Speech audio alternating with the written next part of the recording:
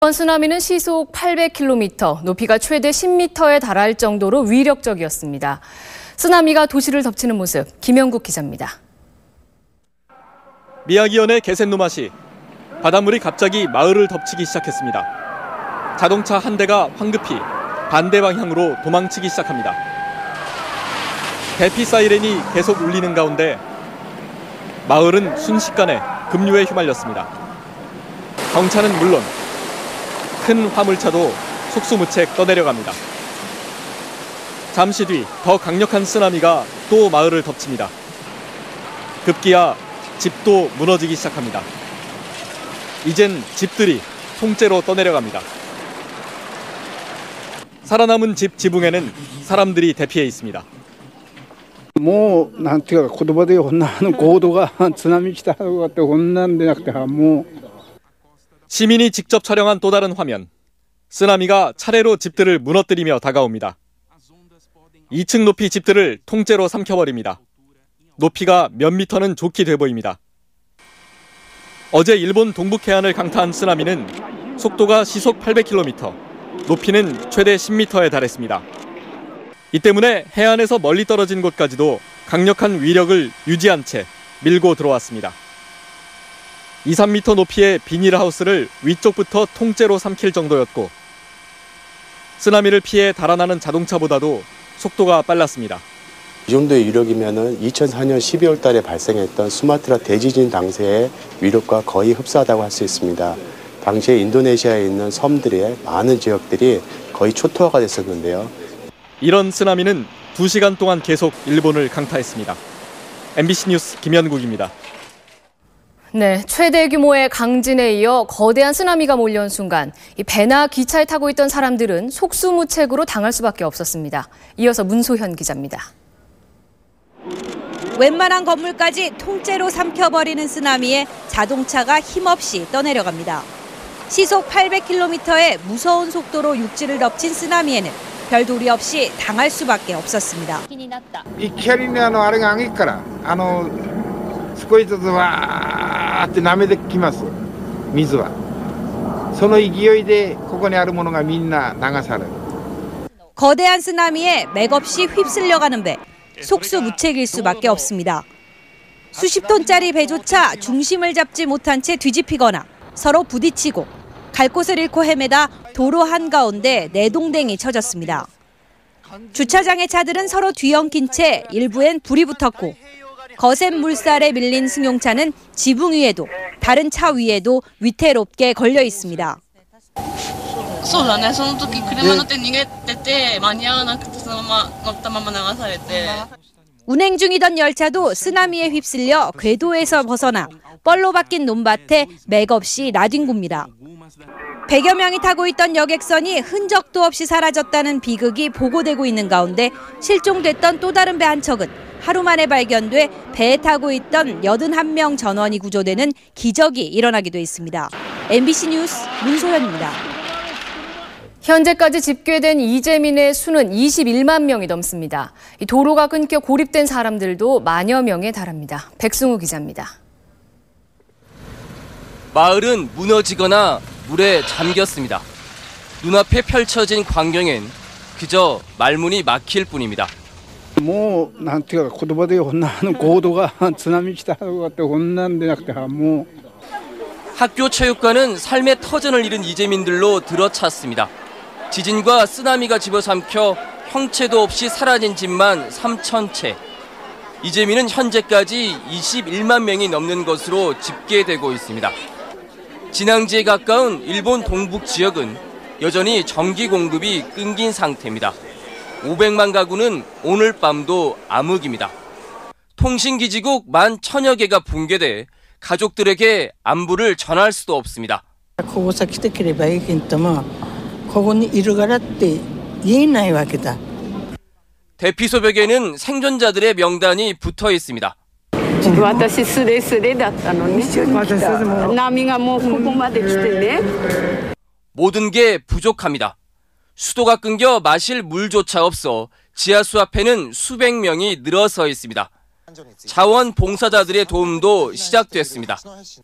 야, 오가대답다가라그네음오시요 하지만 일본 전역에서 400개 이상의 도로가 무너지거나 파손돼 아직도 만 명이 넘는 주민들이 고립된 채 구조를 기다리고 있습니다. MBC 뉴스 백승호입니다. 땅이 갈라지고 건물이 무너지는 아비규환의 순간에도 일본 국민들은 침착함을 잃지 않았습니다. 물론 약탈이나 사재기도 찾아볼 수 없었습니다. 윤효정 기자입니다.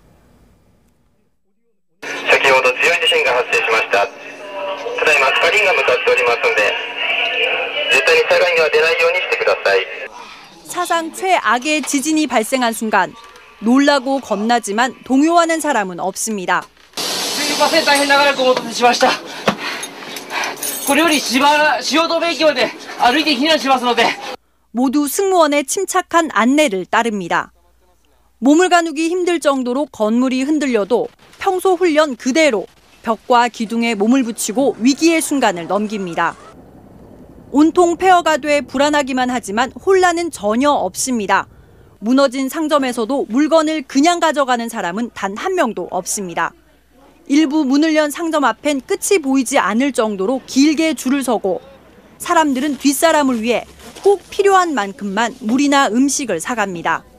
普通店閉まっちゃってて空いてる店は少ないんだよねだから鶴畑さんが今空いてるって聞いたもんでそういうあのーなんていうのおむつとか紙おむつとか飲み物とか 당장 급한 구호품도 순서를 기다려 꼭 하나씩 나눠 가집니다. 외신들은 일본 국민들이 죽음 앞에서도 침착했다며 경의를 표했습니다. MBC 뉴스 윤효정입니다. 센다이 지역은 초토화됐지만 공항만큼은 대체로 제 모습을 유지했습니다. 이 오래전부터 가꿔온 해안가 방제림 덕분이었습니다. 이피리 기자입니다. 거센 물살이 빠른 속도로 지나가면서 집도 자동차도 모두 휩쓸려 떠내려갑니다. 같은 시각 센다이 공항의 폐쇄회로 하면 엄청난 양의 물이 밀려오지만 거센 물살은 보이지 않습니다. 물이 서서히 차오르는 듯한 모습은 아수라장이 된 다른 피해 지역과 대조적입니다. 센다이 공항은 여전히 폐쇄 상태지만 오늘 아침 물이 빠져나간 공항은 시설물들이 대체로 제 모습을 되찾았습니다. 이처럼 피해가 상대적으로 적었던 건 방제림 덕분입니다. 바다에서 불과 1km 거리지만 해안가에 조성된 폭 300m의 나무숲이 쓰나미를 약화시킨 겁니다. 높이 10m나 되는 엄청난 파도를 한 번 1차적으로 센 충격을 걸러주고 물은 나무 사이로 빠져나오는 그래서 충격이 그나마 저지되는 그런 효과가 있었던 거죠. 크고 작은 쓰나미를 겪어온 일본은 에도 시대부터 태평양과 동해안을 따라 방제림을 가꿔왔습니다. 수십 년에서 수백 년에 걸쳐 방제림을 조성해온 일본의 지혜와 노력이 쓰나미의 피해를 최소화했다는 분석입니다. MBC 뉴스 이필입니다. 자, 그러면 이 시각 일본 상황 점검해 보겠습니다. 도쿄 MBC 지사 전재호 기자 연결합니다. 전재호 기자. 예, 도쿄입니다. 네, 피해 규모가 계속 커지고 있네요. 예, 방금 들어온 소식부터 전해드리겠습니다. 조금 전 일본 NHK 방송이 보도한 내용인데요. 일본 정부 원자력 보안원은 후쿠시마 원조로 1호기의 연료 일부가 녹고 있는 것으로 보고 있다고 밝혔습니다.